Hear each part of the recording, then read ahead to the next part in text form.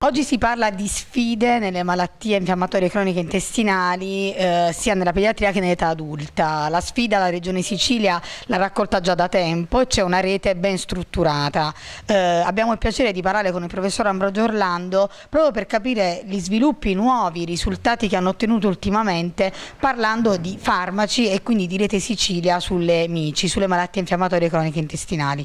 Allora professore, anche qui a, a Cagliari presenterà dei dati quali saranno?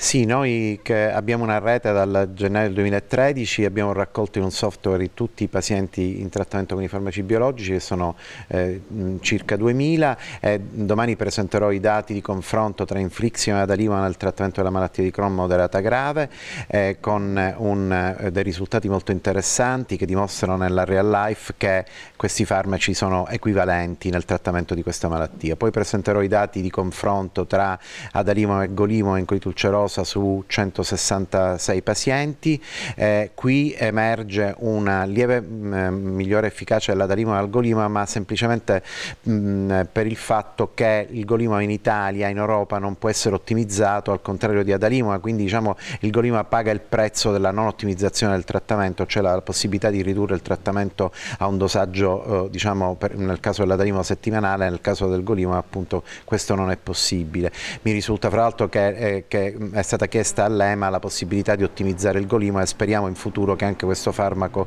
possa essere ottimizzato in Italia con la, con, che, mm, che, questo possa rappresentare una risorsa per questi pazienti. Infine dati sul vedolizumab, anche qui su una numerosità importante di pazienti, circa 200, in cui emergerebbe l'efficacia del vedolizumab soprattutto nei pazienti più fragili, eh, eh, sia nel Crohn che nella colite ulcerosa e una certa efficacia anche nelle manifestazioni articolari correlate all'attività intestinale. Rete Sicilia però non è soltanto analisi sui farmaci, ma ci sono anche tante altre iniziative. Cosa avete in programma? Approfitto di questa occasione, la ringrazio per la domanda, perché proprio in questi giorni stiamo organizzando in accordo con l'Ordine dei Medici e le società eh, eh, di, diciamo, che rappresentano i medici di medicina generale, il, i cosiddetti medici di famiglia, un eh, incontro con i rappresentanti della rete siciliana, quindi sono i 16 centri, per mm, eh, parlare di PDTA, cioè di percorso diagnostico terapeutico assistenziale delle malattie infiammatorie croniche intestinali,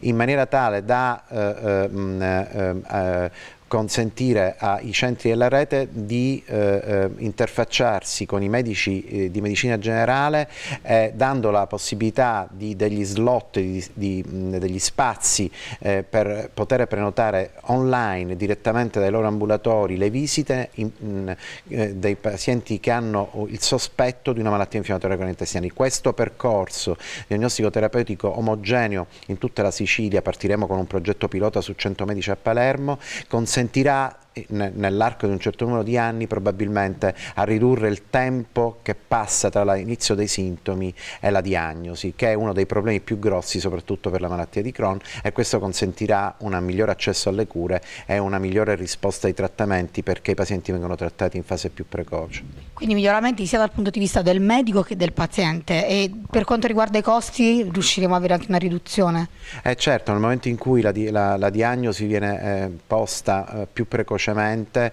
e i trattamenti, eh, soprattutto quelli più efficaci come quelli con farmaci biologici, verranno iniziati più precocemente quando ancora la malattia non è complicata, eh, ridurrà le complicanze della malattia, quindi le stenosi, le fistole, gli ascessi e quindi gli interventi chirurgici, le, eh, eh, eh le ospedalizzazioni che sono diciamo, tra i problemi più importanti e che rappresentano forse la, la parte più importante dei costi di questa malattia.